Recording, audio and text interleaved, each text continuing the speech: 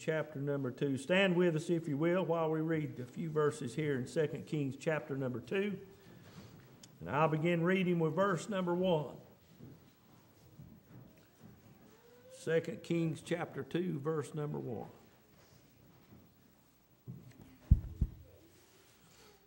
And it came to pass when the Lord would take up Elijah unto heaven by a whirlwind, that Elijah went with Elisha from Gilgal. And Elijah said unto Elisha, Tarry here, I pray thee, for the Lord hath sent me to Bethel. And Elisha said unto him, As the Lord liveth, and as thy soul liveth, I will not leave thee. So they went down to Bethel. And the sons of the prophets that were at Bethel came forth to Elisha and said unto him, Knowest thou that the Lord will take away thy master from thy head today? And he said, Yea, I know it. Hold ye your peace. And Elijah said unto him, Elisha, tarry here, I pray thee, for the Lord hath sent me to Jericho. And he said, As the Lord liveth, and as thy soul liveth, I will not leave thee. So they came to Jericho. And the sons of the prophets that were at Jericho came to Elisha and said unto him, Knowest thou that the Lord will take away thy masters from thy head today? And he answered, Yea, I know it. Hold ye your peace. And Elijah said unto him, Tarry, I pray thee here, for uh, the Lord hath sent me to Jordan. And he said, As the Lord liveth, and as thy soul liveth, I will not leave thee. And they two went on. And fifty men of the sons of the prophets went and stood to view afar off, and they stood by Jordan. Elijah took his mantle and wrapped it together and smote the waters, and they were divided hither and thither, so that they too went over on dry ground. And it came to pass when they were gone over that Elijah said unto Elisha, Ask what I shall do for thee before I be taken from thee. And Elisha said, I pray thee, let a double portion of thy spirit be upon me. And he said, Thou hast asked a hard thing. Nevertheless, if thou see me when I am taken from thee, it shall be so unto thee. But if not, it shall not be so. It came to pass that they still went on and talked, that behold, there appeared a chariot of fire and horses of fire, and parted them both asunder. And Elijah went up by a whirlwind into heaven. And Elisha saw it and cried, My father, my father, the chariot of Israel and the horsemen thereof. And he saw him no more, and he took, he took hold of his own clothes and rent them in two pieces.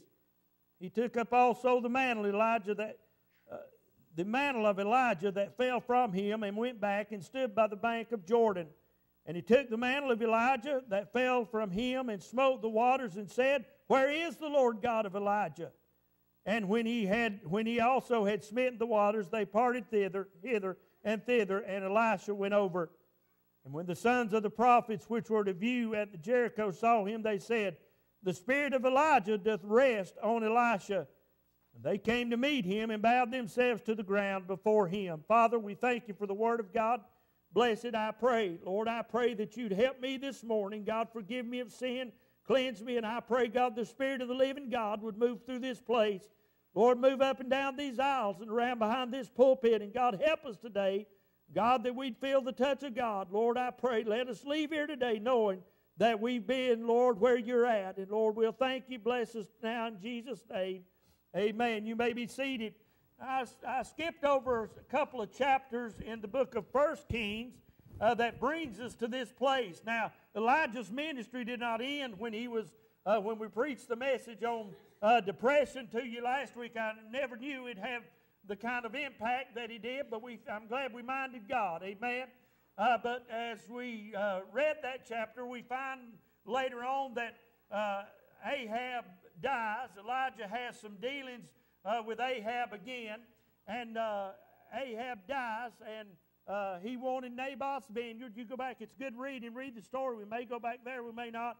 but anyway, as time came to pass, Elijah and Elisha got together and we find out in 2 Kings chapter number 2 that Elijah, his ministry is over.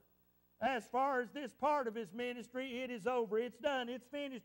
God's finished with him. And uh, it's not something that uh, maybe Elijah wanted, but I guess he was ready to go. Uh, you know, I guess he figured his time was up. He knew he was going. And so he asked of Elisha, Tell me one more time. Tell me one thing that I can do to you before I live, before I leave. And Elijah, Elisha said, I want a double portion of thy spirit. Now let's get up to speed here just a little bit. If you and I are saved by the grace of God, one of these days we're going home. Amen. I've been born again by the precious seed of the Word of God. For as much as you know that you were not redeemed with corruptible things as silver and gold from your vain conversation received by tradition uh, from your fathers, but with the precious blood of Christ as of a lamb without blemish and without spot. You and I have been saved by the grace of God because we're born again by the grace of God. Amen. You're cleansed uh, through the blood of the Lord Jesus Christ. The end of you is heaven with the Lord. And no matter how it takes place, if you're a child of God, there's coming a day when you too are going to heaven. Now, this story and this picture of Elijah being caught up in a whirlwind is a perfect picture of the rapture of the church. One of these days, in a moment, in a twinkling of an eye, you and I too, if Jesus doesn't come, if, if we don't go by the way of death and Jesus comes back, we too are going out as Elijah did. In the moment, twinkling of an eye, we'll be together in the presence of the Lord forever, bypassing death. Amen? Now, I'd like for that to happen in my lifetime. I, I look for that to happen in my lifetime. I look to be translated instead of being put into a hole in the ground. But even if I do have to die and go by the way of death, I know that, that the Lord Jesus is going to raise me up. Amen? I know when he comes back, he's going to raise me up. And so Elijah, as he uh, went on and went into heaven, we find out that his disappearance from this earth was seen by Elisha. He was there as he witnessed that. Now, the, we've got our astronauts. The Russians have their cosmonauts, but Elijah was a was not. Amen. He was a was not because it says he was not. And so, friend, he was there and then he was gone, taken to heaven uh, uh, by the power of God. He was taken to heaven, but he's seen again, and uh, we'll get to that maybe at a later time. But anyway, we really know out of this scripture that it, there is life. Listen, you got to believe the Bible, okay? You got to believe the Word of God. People look at me when I tell stories like this about Elijah, and when I say things about when they said, "You surely," they look at me like, "You poor soul, you cannot believe that." How can you believe that one time there was a man that uh, uh, was walking along with somebody else, and a whirlwind came, and the chariot of the Lord came and just took him up to be with in heaven? How can you believe that? I'll tell you how I believe it. I believe the Bible. Amen. I believe the Bible. Don't ask me to explain it all, but bless God, I believe it all. Amen. Praise God. I believe what the Word of God says. So the Word of God tells me that this is what happened, and I believe that this is what happened. And Elijah went on to another life.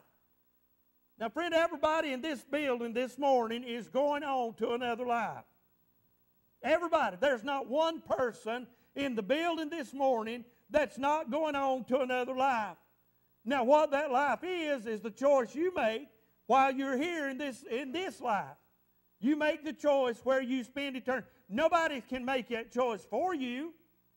Nobody can help you after you've died to get to heaven. You make the choice now whether or not you're going to heaven or whether you're going to hell. So, for the believer, we know that there is a life after this that is a much better life. Death does not end it all for anyone.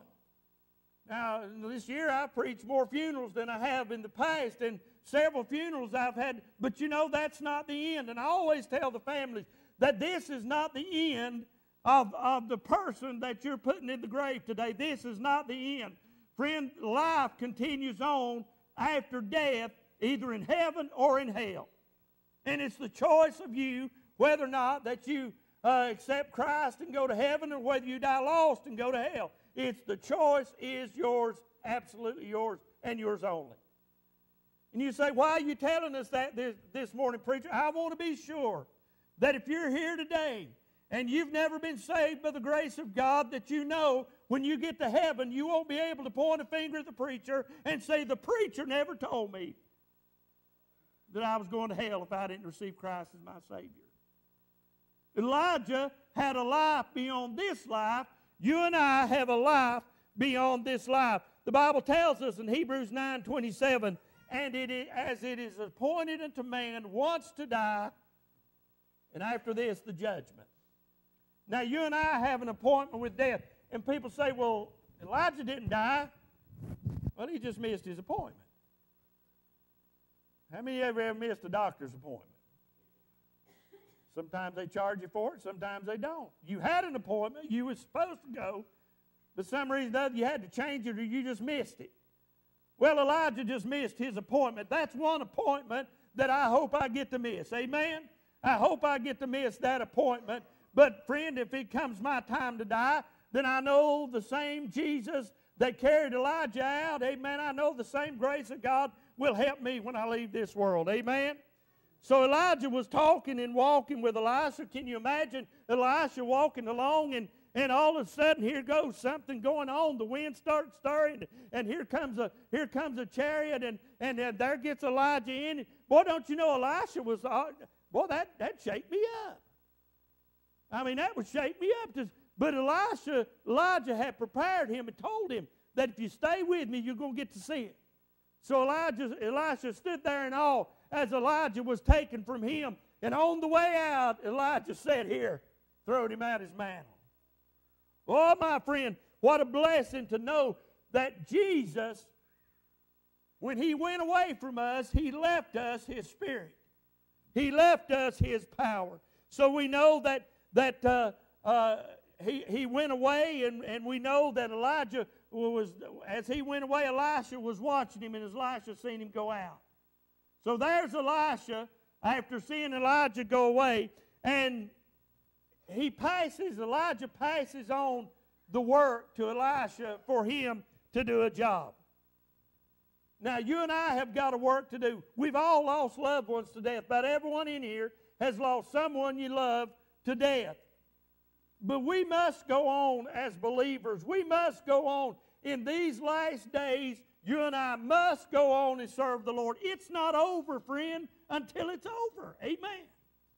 It's not finished till it's finished. It's not all bad. Now, you look at the world and it looks bad, but it ain't all bad. Amen. People are still being born again by the grace of God. People are still getting saved and it's not all bad. Jesus is coming soon. Amen. And we look forward and we have the blessed hope of the return of the Lord Jesus Christ. But one of these days, as we walk in this life, keep your head up. Amen. Keep looking toward the Lord. Every time you find a penny, pick it up and, and realize that your trust is in the Lord.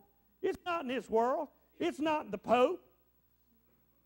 Boy, I'm glad I'd be glad that airplane leaves go on somewhere else. Amen. Let me hear, let me see what else is going on in the world. But the whole world has gone after this man. Uh, the whole country. I've never seen the news media gush over anybody. Uh, boy, I'm going to get in trouble, sure as this world. But I've never seen the news media getting so much tr- uh, and getting so much uh, upheaval and gush over a person in my life. I told somebody, you'd think God had come back himself and was riding on an airplane. But I'll tell you something. If he's never been saved by the grace of God, 99% sure he's not because he wouldn't do and believe the things he believes. There's no hope for the Pope. Now, listen to me, friend. What I've got's real. And even though this world may rush and gush after a religion and after a person, thank God, what if Jesus was to come back? Would he get the same reception? if the person of Christ came back, and that's what the Pope is supposed to be. Y'all know that, don't you? He's supposed to be the vicar of Christ. He's supposed, you know, people call him the Holy Father. Man, he gets up and puts, well, I don't put on a dress every morning, but he gets up and puts his dress on the same way I put my pants on. And listen to me, if Christ himself came back, and people knew it was him, people could tell it was him, would they have the same reaction as if a, as the man in flesh that the Pope was, would that have the same right? I had no idea here we was going here. But would I, I dare say they would not. I dare say that they would pick up stones to stone him if Christ himself pure righteousness, pure holiness is not accepted in the world today. And my, you know, we're just living in that age where right is wrong and wrong is right. But here's this man, here's this man, Elisha, that saw Elijah go away. And Elisha wanted to be what Elijah was as he went away. He wanted to bear the Spirit of God upon him. He did not want, you know, uh, uh, uh, pride to get in his way. He wanted to be what Elijah was when he left here. That's what you and I should be. Jesus went away, and we should want to be like Jesus and like Christ. And that's in humility, that's in love, that's in compassion of lost people. And friend, that should be what we want. As Christ went away, that should be what we want. But so we see here that as Elisha stood there, and here come the mantle down upon, upon Elisha as, he, as, as Elijah was translated we see that one day, friend, our loved ones are going to go on. Who's going to pick up the mantle of the godly that go on before us? You know what's happened in our world today? The mantle has been dropped. The mantle has not been picked up of godly people that have gone on before us, have godly preachers that have preached the messages for years. Many of those mantles are laying on the ground somewhere, and nobody's picked them up, and therefore the power of God is not as, not as real to a lot of people as it would be if they pick up the mantle and stay by God and stay by the stuff. Amen? Now, for what are you going to do? What are you going to do in this world? You, you know people that have, you know, we reminisce a lot. Nothing wrong with that. But I reminisce a lot and I think a lot about those that have gone before me, about the great preachers that I have known in the past. I think about Brother Harold a whole lot. I'll never get over Brother Harold. I think about Brother Jack Shook a whole lot. I'll never get over those men. Dr. Harold Sightler, I think about him a lot. They had the mantle of God upon them. They had the power of God upon them. And they preached like there's the last message they's ever going to preach to mankind when they got in the pulpit. Brother Ray Long, I remember him. I can remember Brother R.A. White. I can remember uh, Dr. Oliver Greene. I can remember uh, many others that, that went up. Brother Billy Sunday. I never met him, but I've heard him preach.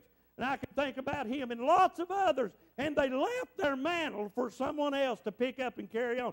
You know what's happened? A lot of the mantles get left there. Nobody desires the power of God as they used to. Many believers don't want the power of God because it would cost them some worldly things. Boy, Lord dealt with my heart when I studied for this. Are we willing to give up what we need to give up in order to have the power of God upon our lives? Are we willing to commit ourselves to the Lord? Are we uh, willing to give up worldly pleasures or those things that get between us and the Lord? Are we willing to give those up that we might have the power of God upon our lives? Lord, help us that we be willing to say, Lord, whatever it takes in my life, God, I'm willing to give it up in order that I might serve you, in order that I might have the power of God on my life in these last days. We're living in the last days of time. We got a lot of important things to do, so we think, but there's nothing more, impo- more important than us living our lives for the cause of Christ. What's the most important thing to you today? What is the most important thing in your life today? Is it what you're going to do after church? Is it what you're going to do next week? Is it what you're going to do the week after next? What is the most important thing in your life? Or is it to serve the Lord every day anew? Y'all know me. I've gotten, uh, I've got, uh, there's not a thing wrong with enjoying this life and enjoying worldly pleasures as long as it doesn't, as long as it doesn't go against God, against other things of God, as long as it's not immoral. I don't, I don't see a thing wrong with a lot of things that happen except they get in the way of God sometimes. They people put them first instead of putting God first. And I've fallen trap. I've fallen into the trap if I'm not real careful sometimes of letting other things get in the way of my serving the Lord. I have to monitor real carefully what I do with this. I have to monitor real carefully what I do with that iPhone. Because it has taken, all these things are good, but it's taken a lot away from our social lives. Did you know that? I like text messaging because I can get a, a, a, point across real quick to somebody if I need to, but on the other hand, I hate it. It gets in my way sometimes. I'd, you know, I, I thought this is the craziest thing the other day. I thought this is the craziest thing the other day. I pick up my phone, and if it's working, call Libby. I don't even have to dial a number no more. Look at that. And it'll dial her number to me, and I hope your phone's turned off. Or I can do this. Or I can do this. Send Libby a text message. Oh, I said too many things. Libby Coates.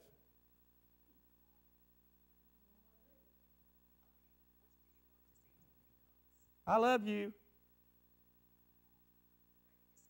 Yes.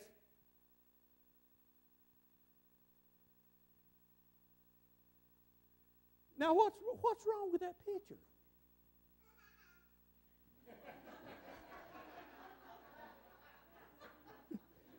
See, the kids even get it. What is wrong with that picture? You know, tell you something, what's wrong with that picture? I just told her I loved her. Why didn't I just pick up the phone and call her and say, I love you? We've got a phone that we can talk to, and it will tell somebody else what we're saying. On the other end, I think her set up, she can mash the button and tell her what I said. We've, we come a long way backwards? But these, I mean, so many gimmicks will take the place of our serving the Lord if we're not real careful. How many of you have smartphones? How many of you got games on your smartphone? Come on now.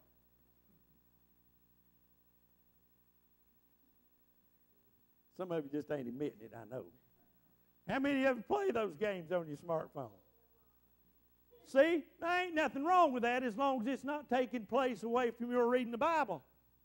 As long as it's not taking place from you studying the Lord. I'm not against any of this as long as it don't come between you and God. But if we're going to have the power of God on our lives, we are going to have to live in such a way where everything in the world don't come between us and God. You know, it, I, they, they did a study. Now, I, this is not the way I planned the message, I'm telling you, but this is the way God's got it going, so I'm going to stick with it. Amen. Like it or not, amen. This is what the Lord says to say. They did a study about people and their phones.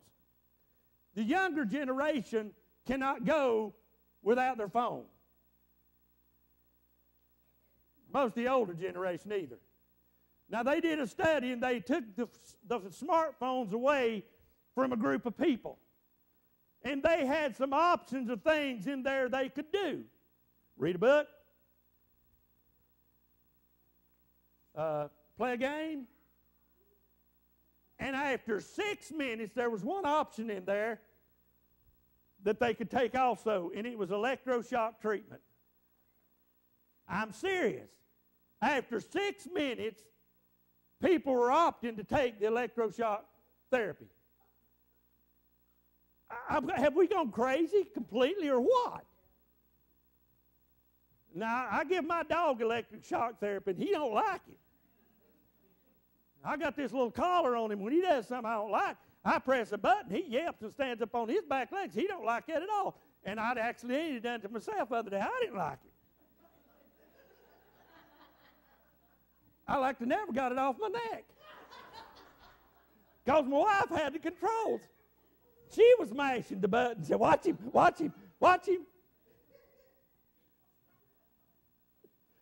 But seriously, friend, it's not nothing wrong to. But I'll tell you something. We've got too many things going on to serve the Lord. We've got. I'm telling you, we've got too many things going on in our lives that distract us from serving the Lord. I'm not against sports, and you know I'm not. Like I said a while ago, I, I, I took a little bit of interest in football. Don't know why. Never have liked it. Never had cared for it. But I found myself listening and watching the game the other day. Just give them a quarter. That's all they're looking for is the quarter. Give them the quarterback. They'll, they'll be done. But listen, nothing wrong with that as long as it don't come between you and God. But if it comes between you and the Lord, it's sin, it's wrong, and you need to get it out of your life because it's taking the place of God. It's your idol. Let me tell you this one more illustration, I think I'll be done. Like I say, this ain't where I meant to go, but uh, the notes have been gone out the window for the last 10 minutes. This preacher I know. I'm trying to remember his name. It's a funny last name. Maybe I'll remember in a minute, but he's a good evangelist. And he was preaching at a church, and I've told it before, but you probably forgot. If you're not, you'll like it anyway. He was preaching at church, and they had they had their communion table up here. And on that communion table, they had trophy after trophy. Over here on the wall, they had a, a big trophy case with trophy after trophy of, of the baseball games that their church league had won.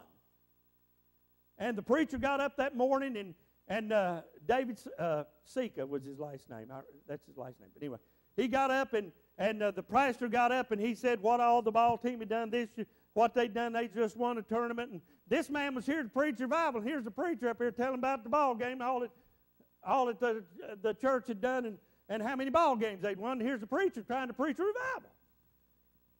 And so he got up there and come the preacher's time to preach, and he got to preach, and he said he thought he was in the flesh.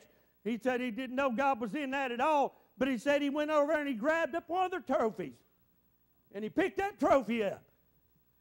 Picked that trophy up held it up in front of him said, Behold your God. Well, that'd rattle anybody's cage, wouldn't it? And he dropped it. Accidentally, he dropped it and broke it and they thought he threw it on the floor. And he walked out the door. Now, he thought he was in the flesh. I would too. That's why I'm carrying around a basket of flowers. But he thought he was in the flesh. He got out there and went back to his motel room. He said, I'll never darken the doors of that place again. Them people don't want anything but their sports. And I'll never go in that church again and preach because because they don't want nothing. They don't want God. All they want is their ball games. So he packed up his stuff and he was getting ready to leave town to knock on the door. Who in the world can that be? I don't know anybody in this town. He was, he was ill. He was upset. Now, if I was an evangelist and that's going on, I probably would be too. I'll just tell you. He went to the door and there stood the pastor in tears in tears. He said, Preacher, you're right. He said, God convicted my heart. You're absolutely right. This has become what our church is all about. And he said, after you left, he said, we sat in silence just for a few minutes, then people began to trickle into the altar and beg God for forgiveness. Now, see, he didn't know God was in that, but God was in that. And said, he said, Preacher, we beg you, will you please come back and preach to us? And they had a good revival at that church. He went back and preached, and they had a good revival. All because he told them what their God is. What's your God today? Who is your God today? What is your God? Is it things of this world? Will you allow just anything to, to keep you away from the house of God? Will you allow just anything uh, to keep you from the Word of God? Will you allow just anything to keep you from prayer? Those things that come between you and the Lord are your idols. That is your gods. Whatever comes between you and the Lord. Say, Preacher, I'll never come back and listen to you preach again. I'm sorry, I'm just telling you the truth. Anything that comes between you and the Lord will be your idol. And I love you with all my heart. There ain't a person in here that I wouldn't, I wouldn't walk through fire for, but I must tell you the truth. If we're to have revival as a church, we must put God first. We must put Him, hold Him in high esteem, and be willing to do what God wants us to do. We must be willing to do that. What is your God? Who is your idol? Where will you spend eternity? These are all good questions. You, you say, Preacher, I, I really like to see God move in the church and fill the church up and folks get saved. How many of you like to see that? Raise your hand. Well, friend, I'm going to tell you, when the preacher comes, he's not coming with a briefcase full of revival. Matter of fact, I don't even think he carries a briefcase. But if he did, he wouldn't come carrying a briefcase full of revival. Revival comes right here in my heart, right here in your heart, when I determine that I want more of God than I want of this world. Amen? When I want more of God than anything else, that is when revival will begin in my heart. And I'll tell you something today, my friend. If my people, which are called by my name, shall humble themselves and pray and seek my face and turn from their wicked ways, then will I hear from heaven, will forgive their sins, and will heal their land.